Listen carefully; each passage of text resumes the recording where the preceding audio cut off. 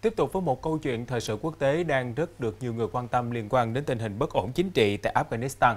Thưa quý vị và các bạn, một trong những quy định khắc khe mà phụ nữ Afghanistan lo sợ giờ đây đã trở thành hiện thực khi mà lực lượng Taliban sau khi lên nắm quyền vừa đưa ra yêu cầu bắt buộc các nữ sinh phải mặc áo choàng và quấn khăn che gần hết khuôn mặt.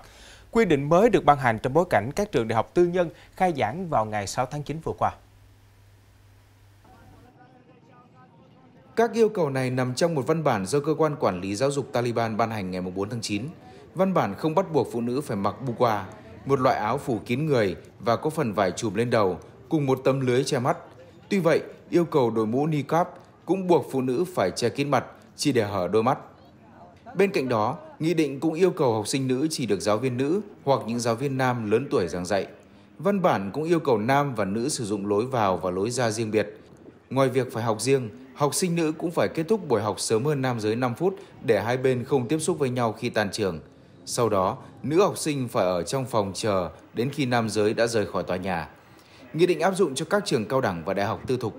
Taliban đã nắm quyền kiểm soát Afghanistan nhưng cho đến nay chưa công bố thành lập chính quyền và cũng chưa có nước nào công nhận.